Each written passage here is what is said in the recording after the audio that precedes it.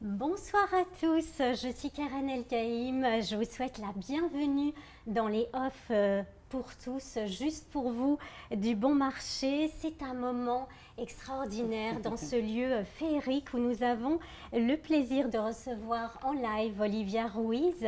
Alors bien sûr, vous connaissez euh, déjà euh, la chanteuse, l'autrice et la compositrice que vous êtes. Je pense notamment à la femme chocolat, le calme et la tempête ou à nos corps aimants. Mais ce soir, vous avez rendez-vous avec la primo-romancière de la commode au tiroir de couleurs aux éditions Lattès. Alors ce roman, euh, je vais vous le présenter en, en quelques mots. Donc il s'ouvre sur la mort d'Abuela, la grand-mère adorée de la narratrice. En héritant de sa fameuse commode, elle va découvrir une formidable histoire celle de cette femme courageuse qui a connu l'Espagne franquiste, l'exil, l'espoir, le deuil et l'amour. Qu'est-ce que vous ressentez dans ce lieu féerique, ce lieu éblouissant? Ah bah c'est un petit peu magique. D'abord c'est une institution, le bon marché, donc il y y a quelque chose de très étrange dans le fait d'être là, dans ce bâtiment totalement vide, aux couleurs de Noël, avec cette majesté et en même temps pas qui vivent à part nous. Donc euh, c'est magique et étrange à la fois. On se sent un peu privilégié. Alors ce roman s'intitule, comme je l'ai dit, euh, La commode au tiroir de couleurs. Est-ce que ça pourrait être une métaphore de l'écriture, d'ouvrir ainsi des tiroirs en soi? Absolument, absolument. En ce qui me concerne, pour la commode au tiroir de couleurs, j'ai refait le plan des dizaines de fois. J'ai changé les objets de tiroir. J'ai j'ai refait mon arbre généalogique plein de fois. Donc effectivement, on commence à écrire quelque chose et puis tout d'un coup, un tiroir s'ouvre à nos dépens. Par exemple, à certains moments, euh, on n'a pas envie d'écrire euh, une tragédie terrible qui fait écho à notre propre histoire. Et pourtant, la dramaturgie l'impose. Voilà. Donc c'est vraiment exactement le même principe, effectivement. Quels tiroirs étonnants se sont ouverts en vous en écrivant ce roman? Bizarrement, ce livre a, beaucoup euh, rompu ma, solitude. Ces femmes, elles m'ont tellement accompagnée pendant un long moment de ma vie que quand il a fallu sortir le livre, je me suis sentie euh, dépossédée. Euh, j'ai eu une sensation que j'avais jamais vraiment vécue avant pour aucune de mes créations j'ai eu un peu de mal à laisser partir Rita avec une drôle de phrase qui me venait à l'esprit qui était Mais qui va me consoler moi maintenant si Rita part euh, chez les gens et qu'elle n'est plus juste euh, mon réconfort à moi? Pourquoi c'est votre réconfort à vous? Parce que justement j'ai tant subi le silence de mes grands-parents sur mon histoire que, que ce, que ce fantasme, euh, quelque part, c'est comme un, un vœu qui ne, serait, qui ne se serait jamais réalisé, euh, sauf par le biais de l'écriture. Si l'écriture était une couleur, ce serait laquelle?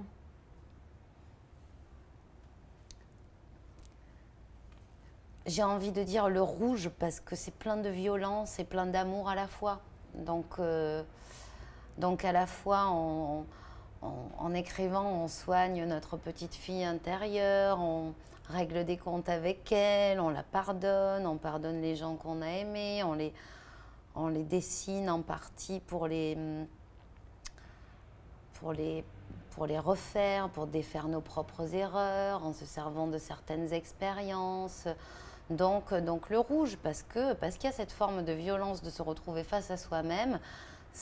Euh, et cette passion, parce qu'on est bien obligé à un moment donné d'être amoureux de ces personnages pour continuer à les faire revivre tout au long du récit. Vous écrivez qu'une commode bien gardée et bien remplie rend l'imagination des enfants incroyablement fertile. Est-ce que vous, vous étiez une petite fille avec beaucoup d'imagination?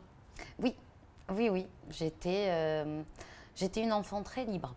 J'ai grandi dans un café, le café de Marseillette, qui fait partie des décors de la commode au tiroir de couleur d'ailleurs, plutôt élevé par mes grands-parents, puisque eux travaillaient au café mais étaient euh, déjà un peu plus âgés, donc bossaient moins que mes parents, dans une immense liberté. Donc, euh, Donc voilà, c'est quelque chose qui, qui m'alimentera toujours parce que il y a à la fois une immense liberté et en même temps, euh, grandir dans, dans, un café, c'est aussi avoir euh, quelque part tous les profils d'une société dans la micro-société qu'on investit. Donc ça rend tolérant, ça rend... voilà, il y, y, a quelque chose dans, dans, cette enfance auquel je suis très très très attachée par la liberté et par la créativité, puisque c'est vrai que j'étais tout le temps dans l'impro. J'avais un public permanent qui était les clients du café pour faire le clown. Donc c'est fantastique. Et puis quand on a vendu le café, je faisais le clown pour mes parents qui avaient été drôlement usés par ces 11 ans euh, de vie où, ils étaient euh, bah, esclaves de leur, de leur job. L'enfance est très présente dans ce livre, elle revient aussi dans certaines de vos chansons. Pourquoi elle est si fondatrice? Pourquoi elle est si inspirante pour vous? Parce que je crois que ce que, moi je rattache à, l'enfance, c'est euh, la pureté, la capacité d'émerveillement, euh, des choses dont, je peux être nostalgique, euh, j'allais dire, dans ma vie avec les adultes. Donc voilà, je me sens pas du tout femme-enfant, je me sens pas du tout un bébé, je suis une femme qui s'assume, je suis une maman, je suis, je me sens pas du tout dans, un truc euh, de, de, de, de Lolita ou de, ou de... J'ai vraiment l'impression d'être femme et à la fois encore un immense besoin de, de, prendre soin de, l'enfant en moi euh, qui peut-être s'est senti seul parfois, j'en sais rien, et qui a trouvé refuge dans l'écriture très tôt. Et là, pourquoi l'écriture d'un roman? Pourquoi cette envie d'explorer une autre forme d'écriture? Alors, c'est pas du tout euh, mon, idée. Euh, c'est quelque chose euh, qui m'appelait finalement, mais qui, me semblait un peu trop, un peu trop effrayant. J'ai beaucoup sacralisé l'objet qui est le livre parce que le livre a soigné beaucoup de mes, de mes mots. Du coup, ça me semblait être quelque chose qui était réservé aux grands, quoi, aux grands, euh, euh, voilà, aux, professionnels de la profession. Donc, je ne me serais jamais euh, jetée dans cet exercice sans l'idée folle d'Olivia de Dieu le veut, mon amie devenue du coup mon agente, qui a retrouvé une nouvelle que j'avais écrite il y a plusieurs années, qui s'appelait La commode au tiroir de couleurs, et qui m'a dit j'ai relu ça, c'est fantastique. au boulot, c'est ton roman, t'as plus qu'à remplir les tiroirs. Voilà, comme si c'était aussi facile. Mais euh, son audace a payé puisque je m'y suis mise finalement.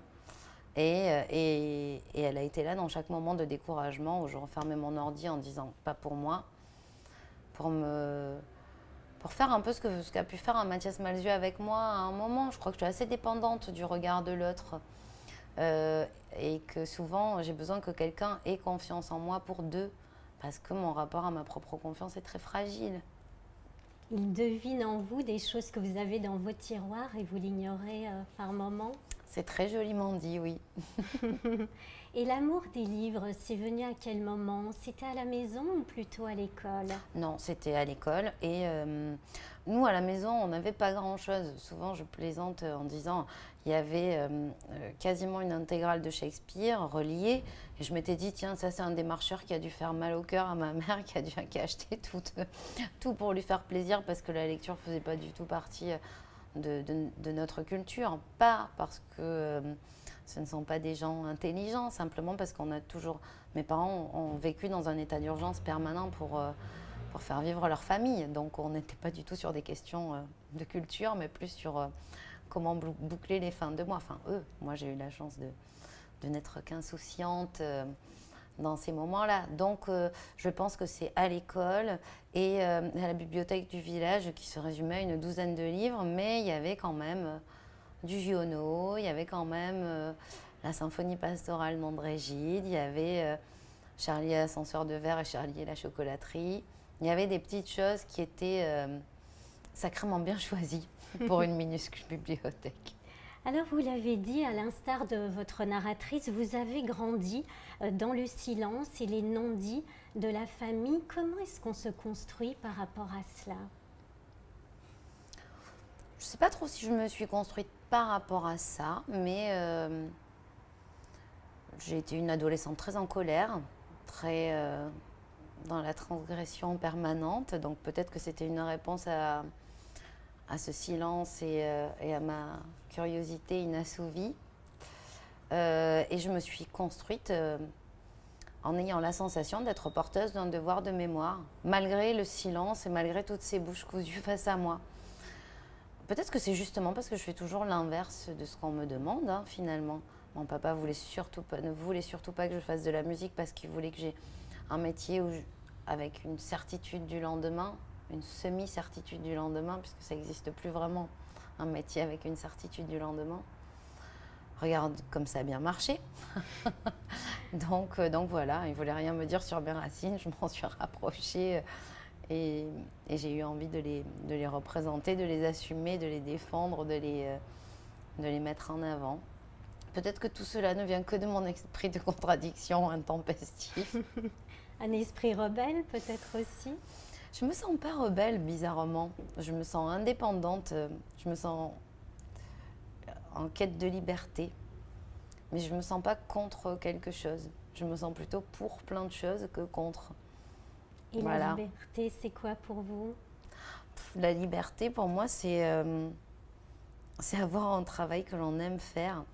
C'est monter dans un tourbus avec 15 gars et, et, avoir euh, le cœur joyeux euh, d'y entrer.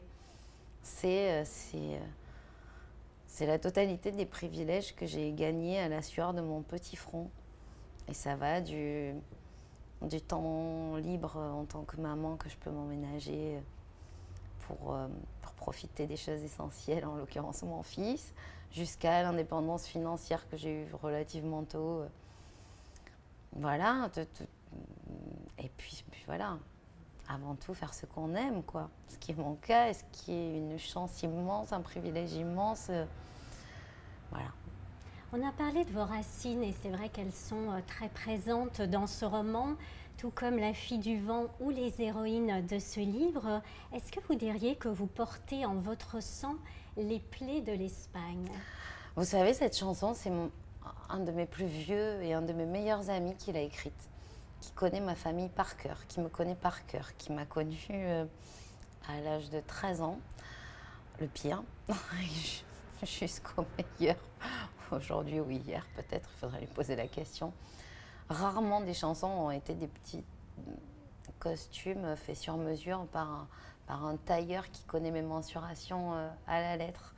Donc oui, s'il a écrit ça, c'est parce que c'est parce que c'est l'analyse qu'il a faite de moi en me voyant évoluer sur euh, presque 30 ans de ma vie. Et je crois qu'elle est juste, cette analyse.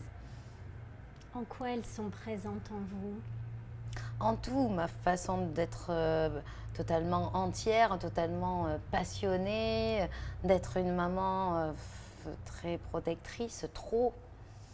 La maman espagnole ressemble à la maman juive peut-être plus connue, mais on a à peu près les mêmes caractéristiques.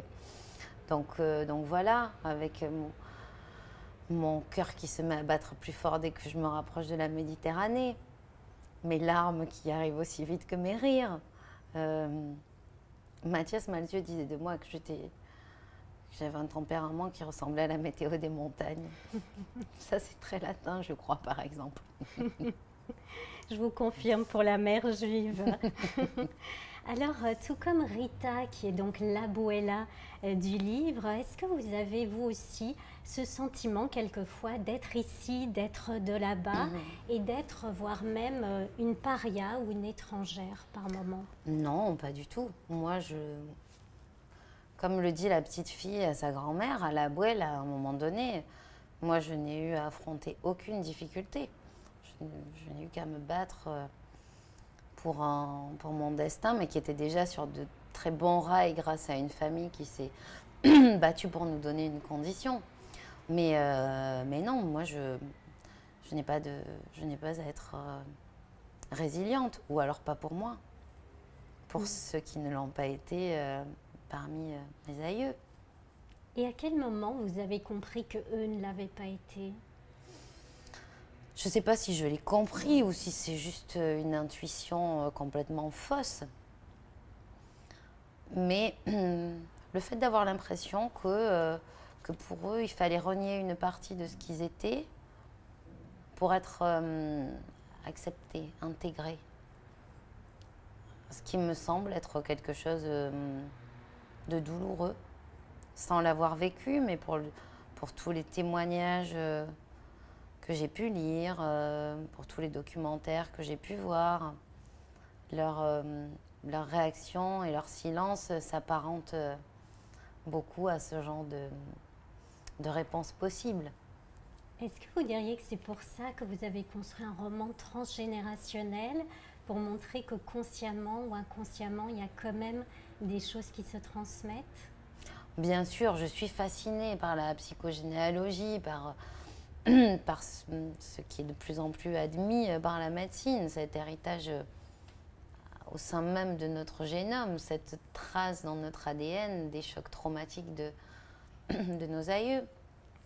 Donc oui, tout ça a quelque chose d'un petit peu magique, qui est à la fois totalement concret et réaliste, tout en, tout en frôlant quelque chose qui amène à une forme de rêverie aussi, si on a envie d'en voir le plus positif, et notamment euh, la résilience à retardement de, des, euh, des, héritiers euh, pour ceux qui n'en ont pas eu le temps.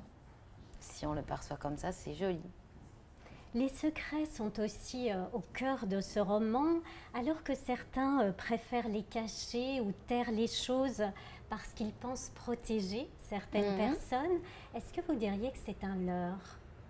Ah oui, moi je suis absolument contre la théorie euh, défendue par pas mal des femmes de ce roman. Et c'est pour ça que j'ai exposé euh, la théorie qui n'était pas la mienne. La mienne, elle est qu'il faut assassiner ce silence absolument et libérer la parole parce que, ça permet d'alléger et d'aider les générations suivantes à mieux se comprendre et à savoir ce qu'elles portent. Donc, euh, donc je ne suis pas du tout d'accord avec mes personnages, mais je trouvais ça plus fort d'exposer mon point de vue entre les lignes en exposant le leur qui est complètement contradictoire.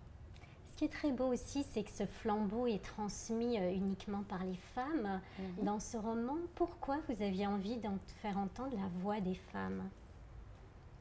Parce que euh, en 1939 comme en 2020, euh, il est plus dur de naître et d'être femme que, de naître et d'être homme, tout simplement ça me semble évident. Aujourd'hui, euh, si on devait inventer la tragédie grecque, euh, ce serait une héroïne qui partirait euh, en quête de l'impossible. C'est qu'on le veuille ou non, qu'on ait envie de regarder cette réalité en face ou pas, nous ne sommes pas encore à l'ère de la parité. C'est encore une utopie et ce qui est super agréable, c'est de faire partie de la génération qui commence vraiment à s'en approcher grâce au travail de nos grands-mères et de nos arrière-grands-mères. Et qu'est-ce qu'il y avait de particulier avec les femmes de votre famille? Qu'est-ce qu'elles vous ont transmis, apporté? Un mystère immense, donc un sacré réveil de l'imagination. Toutes les femmes de ma famille, ou presque, sont secrètes, partagent très peu ont leur euh, jardin secret bien planqué. Euh, donc, euh, donc probablement que ce mystère les a rendues d'autant plus romanesques ou fascinantes ou inaccessibles. Donc inspirantes, j'imagine. Et est-ce que en écrivant ce livre, vous les avez peut-être mieux comprises, mieux compris ce silence ou ce mystère? Non, parce qu'il ne s'agit pas là de l'histoire de, ma famille. Si, euh, si ce roman avait euh, délié les langues chez moi et que j'avais appris plein de choses, peut-être. Là, non, clairement, euh, de ce point de vue-là, malheureusement, non. Dans ce livre, il est aussi question de maternité. Vous en mhm. avez parlé, vous avez un petit garçon. Pourquoi est-ce que ça chamboule tout d'avoir été fille, comme vous l'écrivez, puis de devenir mère?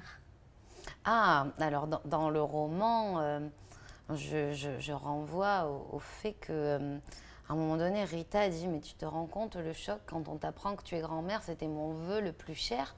Mais quand on te dit que tu vas être grand-mère ou que tu es grand-mère, c'est aussi comme si on te disait dernière étape. Et il y a quelque chose, et je pense qu'il y a ça aussi dans le fait d'être fille et de devenir mère. Il y a le poids des responsabilités écrasantes et le fait qu'on laisse définitivement une partie de notre vie derrière nous. C'est bizarrement, enfin, non, pas bizarrement, un deuil et une renaissance à la fois. Sauf que c'est vertigineux de renaître et d'être confronté à une nouvelle réalité et à, et, à la responsabilité, euh, à nos responsabilités dans cette nouvelle réalité.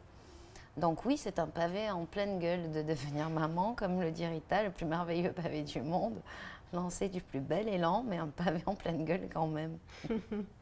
Alors, ces racines chez vous, cette histoire euh, par moments douloureuse, elle a été tue. Est-ce que vous, au contraire, vous aimeriez justement aborder ces choses-là euh, avec votre enfant? Ah, Je le fais déjà, il a 5 ans, il sait qui est Franco, il sait ce qu'est un dictateur, il sait ce qu'est un migrant. Euh, donc, moi, pour le coup, j'ai pris le parti inverse. Il sait que trois de ses arrière-grands-parents ont traversé euh, la frontière pour venir s'installer en France. Il est persuadé de parler espagnol, mais pas du tout. Mais, mais, il a quelques mots de vocabulaire. Donc non, moi je suis dans le, dans le travail un peu, un peu inverse. Et ensuite, bien sûr, je le laisse libre. Je lui lis des comptines en espagnol, des contes en espagnol, je lui chante des comptines en espagnol. Il était très réceptif il y a quelques temps. Là, il est dans l'adolescence de la petite enfance. Donc, euh, plus rien ne l'intéresse euh, qui, peut venir de ses deux parents. Ça devrait bientôt passer. il paraît que ça dure jusqu'à 30 ans, donc bon ah, courage. Ah, bah plus que 25. Chouette. Alors l'amour irrigue aussi euh, magnifiquement les pages de ce livre. Je pense notamment à l'histoire entre Rita et Raphaël, ce réfugié engagé. Pourquoi est-ce que vous avez voulu montrer le poids de la grande histoire sur l'intimité des petites gens? D'abord, euh, les petites gens, euh, je trouve qu'on les, qu'on les nomme mal en les nommant ainsi puisque ce sont quand même ceux qui sont le plus confrontés à, la réalité avec un grand R. Donc ce sont ceux qui me passionnent le plus, finalement. Ce sont ceux qui m'inspirent le plus. Euh, maintenant, euh, je ne sais pas si j'ai eu la volonté, finalement, euh, d'écrire sur ce, sur ce type de personnes. C'est venu naturellement. Moi, j'aime l'authenticité des gens de chez moi, des Occitans, qui pour la plupart étaient engagés, pour la plupart des républicains espagnols. Ils ont quelque chose, ils ont une fougue encore, même pour les plus vieux d'entre eux, assez intacte. Donc fantasmer le grand amour de Rita n'a été qu'un plaisir, clairement. J'ai dessiné quelqu'un qui pourrait être mon homme idéal, quelqu'un euh, à la fois euh, enflammé mais raisonnable, quelqu'un de qui s'intéresse à l'autre, qui est, plein de rêves, plein de folie, tout en étant dans une réalité euh, avec un grand R qui est celle de la résistance et des guerrieros. Voilà, en fait, ben, Raphaël, disons-le clairement, c'est mon petit plaisir. Voilà, je me suis fait euh, un homme presque presque parfait, mais s'il est parfait, c'est aussi parce que, parce que les absents euh, ont toujours raison, selon moi, et qu'à un moment donné, il, il devient fantasme. Et pourquoi l'amour va véritablement les cimenter, eux, ces deux êtres qui ont perdu leur ancrage? Ce que j'essayais aussi de mettre en exergue avec ce passage, c'est le fait que même si on, décide de, changer de vie, même si on décide d'en finir avec une partie de notre vie, quelque chose va toujours nous rappeler. Il y a quelque chose, et particulièrement quand il s'agit de, notre, de la couleur de notre sang. Euh, je crois que la rencontre avec Raphaël rappelle à Rita que c'est une vaste blague de décider du jour au lendemain de ne plus être quelqu'un. On ne décide pas de qui on est, On ne décide pas d'où l'on vient, on doit juste composer avec. Et hum, quelque part, il est le, miroir de son inconscience. Voilà, c'est. Euh, il va lui rappeler euh, à quel point elle est ce qu'elle est et elle ne pourra pas s'en défaire à 100% comme comme elle le rêve. Alors on ne va pas tout vous révéler à vous qui n'avez peut-être pas encore euh, lu le livre, mais en tout cas il y a un autre personnage masculin qui est très important, c'est celui d'André. En quoi est-ce qu'il va devenir une épaule et un père indispensable? Alors, euh, un père indispensable euh, de façon très claire, le lien qui l'unit à son enfant est très puissant, mais, euh, mais je crois qu'il représente pour Rita la stabilité et qui s'avérera être un leurre. Euh, je crois qu'il euh, est aussi le, le symptôme du, du, renoncement à la liberté, à sa liberté de Rita il, met en avant le fait que la liberté est aussi une suite de renoncements et en grande partie euh, d'acceptation aussi. Alors tous vos personnages sont des battants euh, très courageux. Presque, pas tous. En tout cas, ce André, c'est pas un battant. André, il, il, laisse aller sa vie un petit peu. André, il est, il est moins les, femmes sont beaucoup des, battantes peut-être, mais on croise quelques hommes pas toujours courageux, enfin pas toujours courageux, humains quoi. Et qui résistent néanmoins aux, épreuves du temps, aux épreuves de la vie. Bien sûr, pardon. Euh, je, Vous n'êtes pas du tout, vous avez raison. Et puis c'est bien de mettre les femmes en avant, on ne va pas se priver. Ah bah non. Hein. Euh, pour tous ceux qui l'oublient encore. En tout cas, pour les femmes, ça c'est sûr, ce sont des personnages qui sont très très courageux quelle est votre définition du courage et particulièrement en ces temps difficiles que nous traversons actuellement? C'est une question vraiment compliquée. Euh, je ne sais pas quelle est ma définition du courage parce que je ne sais pas ce que c'est le courage. Je me suis jamais sentie courageuse et pourtant euh, il semblerait que ce soit de cette façon qu'on me voit quand je décide de me mettre à danser, neuf mois après avoir accouché, euh, à danser 9 heures par jour euh, pendant quatre mois pour euh, défendre une tragédie musicale pour la Biennale de la danse de Lyon, je ne crois pas que ce soit du courage, je, crois que c'est de l'inconscience. Donc je ne sais pas, je ne sais pas quelle est ma définition du courage. Par les temps qui courent, rester sur ses deux pieds, c'est déjà du courage. On vit dans une société où les inégalités se creusent. Donc, euh, ne pas oublier d'aimer les gens qu'on aime et essayer de rester debout sur ses deux jambes, c'est déjà un acte euh, très courageux dans la situation dans laquelle on vit. Et d'être aussi euh, engagé comme vous l'êtes, de les aider comme vous pouvez. je pense notamment à, 13 à table ou à mm. certaines choses que vous faites justement en tant que chanteuse, cette fois en profitant de votre notoriété. Pourquoi c'est important pour vous euh, de, réaliser des actions concrètes. Est-ce que vous pouvez nous en parler en quelques mots? C'est quelque chose euh, qui me semble donner du sens.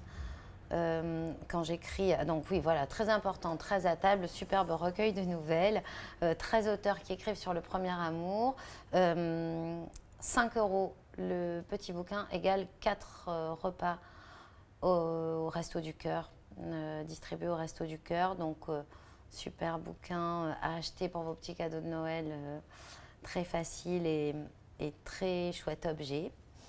avec le Secours Populaire, ben, je suis Père Noël vert. En fait, voilà, tout, tout ça pour dire que on reçoit autant que ce qu'on donne dans ces moments-là. Euh, tout d'un coup se servir de sa notoriété ou de sa capacité de pouvoir faire un petit concert pour euh, donner un peu de sourire, c'est quelque chose d'extrêmement enrichissant qui donne un sens à ce qu'on fait. Quelquefois, on perd le goût et tout d'un coup, là, quand c'est pour le sourire d'un homme qui n'a pas trop l'occasion de sourire, quand c'est pour voir ses yeux se remplir de paillettes, ben, tout d'un coup, on sait pourquoi on a choisi ce métier. Et, et on se souvient, dans ces moments-là particulièrement, que si on l'a fait, c'était pour que les gens se sentent moins seuls. Et là, dans ces moments-là, on,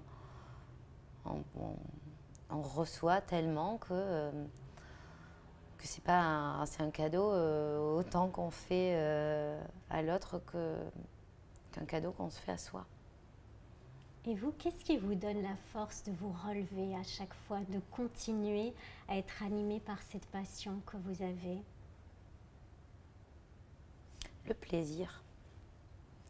Le plaisir de chanter, le plaisir de parler de, mes femmes, de la commode, euh, le plaisir de, l'échange, le plaisir de l'observation, parce que quand on crée, on est, sans se rendre compte, on est tout le temps en train d'observer l'autre.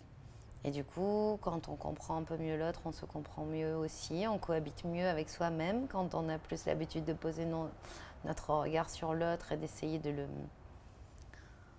de le, capter, de le, scanner, de scanner son cœur et son âme. Voilà.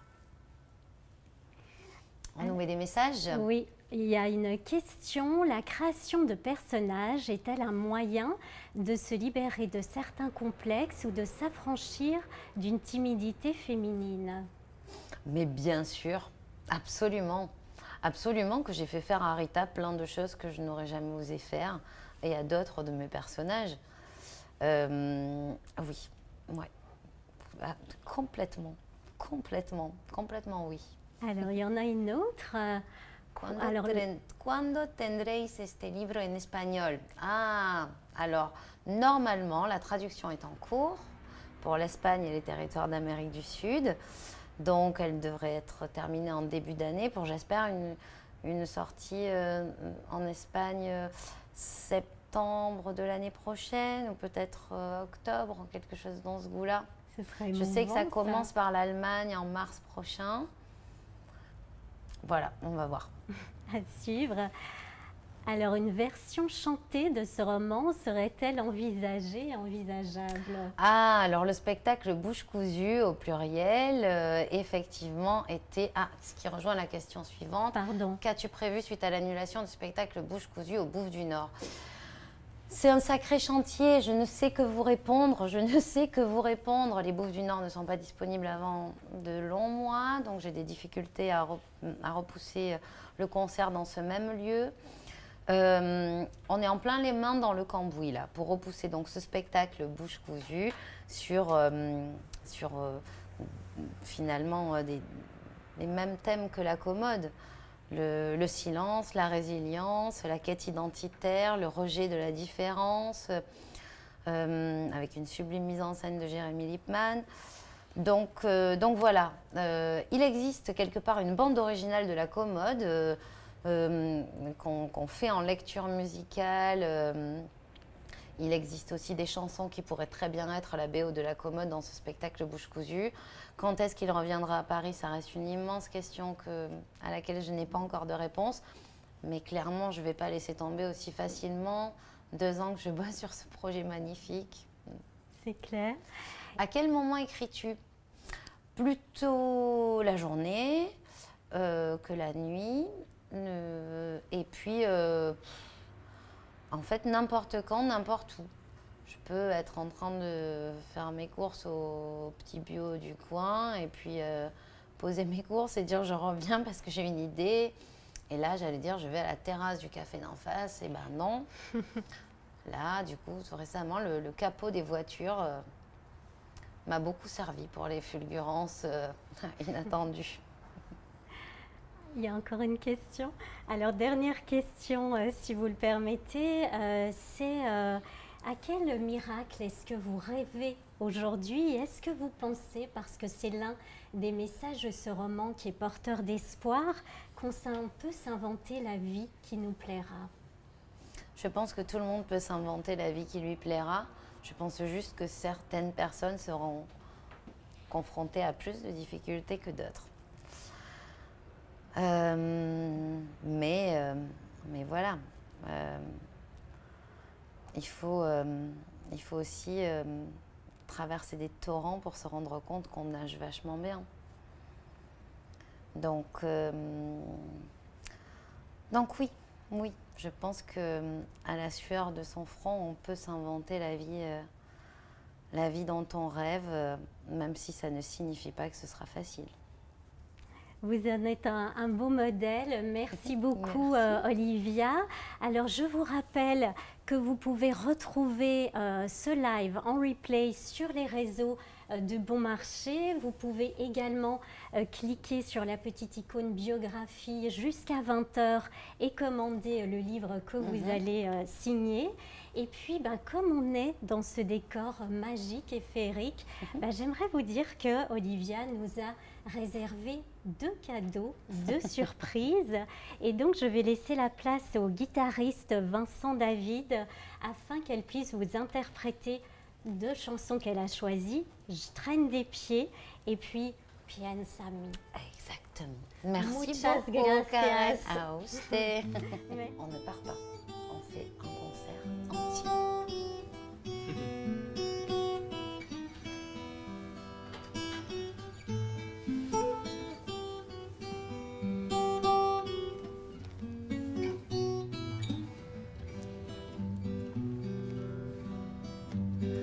Si tienes un hondo pena, piensa en mí. Si tienes ganas de llorar, piensa en mí. Ya ves que venero tu imagen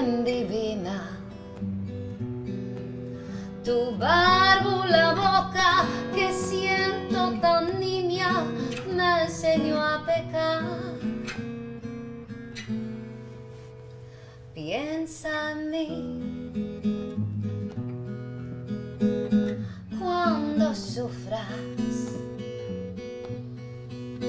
cuando llores, también piensa en mí. cuando quieras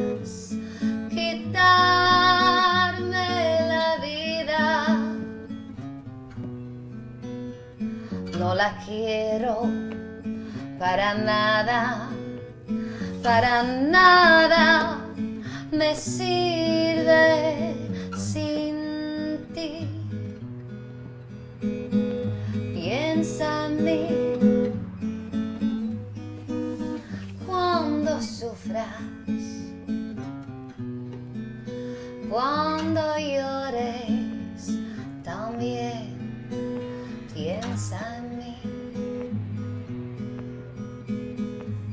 Cuando quieras quitarme la vida, no la quiero para nada para nada. Me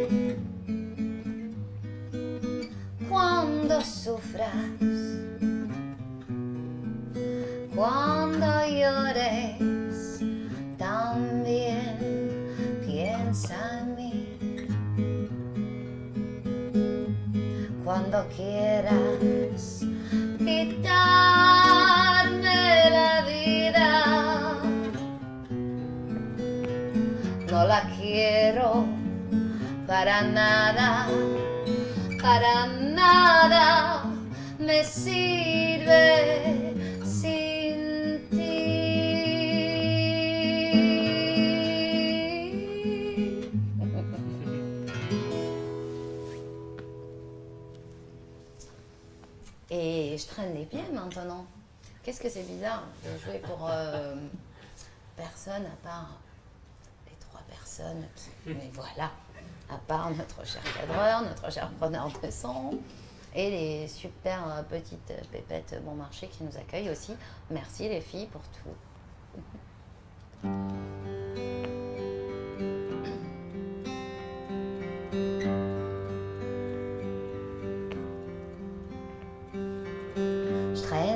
Pieds, des casseroles, je n'aimais pas beaucoup l'école.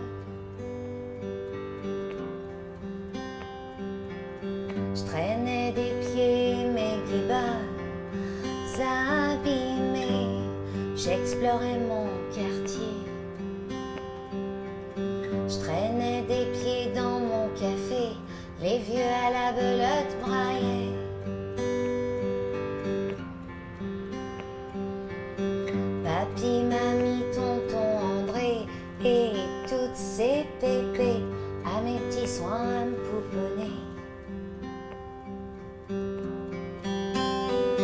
Écorcher mon visage, écorcher mes genoux, écorcher mon